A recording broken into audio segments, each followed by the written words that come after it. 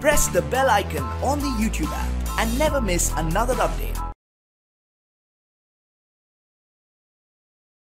India's Prime Minister Narendra Modi is getting ready to visit Israel. Prime Minister Modi will meet with the Israeli Prime Minister Netanyahu for two days starting on July the 4th. This will be the first time an Indian Prime Minister has visited Israel. For more, we're joined by our correspondent Ayman Sikseck in Tel Aviv. And Ayman, what will Modi and Netanyahu be talking about?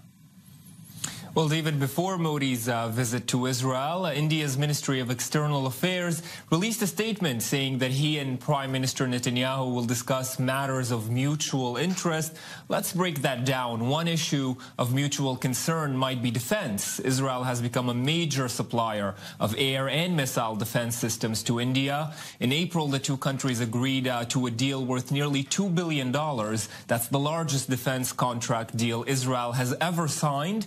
And there are bilateral uh, ties between New Delhi and Jerusalem, as well as defense ties, deals concerning water and agriculture. Those two will be discussed during Modi's visit, David. And uh, any chance, Ayman, that he will be meeting uh, with Palestinian Authority leader Mahmoud Abbas? Well, Michelle, as far as we know, Prime Minister Modi will not be visiting the Palestinian Authority during his trip here to the region. It's an unusual move, and it's a move that delights senior officials here in Israel. Usually it's custom for foreign uh, dignitaries, even leaders from Israel's closest allies, to meet with Palestinian leaders as well, either in Ramallah or Bethlehem.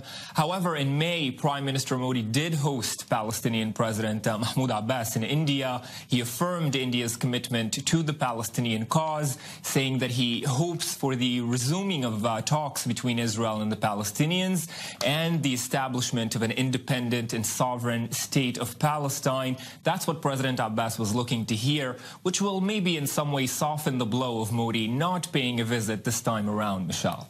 And Ayman, what's the general view in Israel regarding India? Well, David, uh, Israelis made a very nice video ahead of uh, Modi's visit where the uh, Israelis are saying uh, in video form, Namaste Modi, welcoming him here to the country. There is some excitement about the Prime Minister's uh, visit. As you know, it's the first uh, sitting um, Indian leader to visit Israel. And of course, Israel and India have had a diplomatic relationship dating back to 92. But Modi's first visit could signal that he wants to further the ties between the democracies, usher in greater economic and social ties to Israel. He could be trying to extend not only the economic ties, but diplomatic ones as well. And there is excitement in the cabinet, too. On Sunday, the cabinet approved a series of measures aimed at strengthening those ties, an increase of 25% of uh, Israel's non-diamond related exports to India. Today alone, they stand at $1.3 billion over the next four years, David. So a lot of excitement and a lot of money.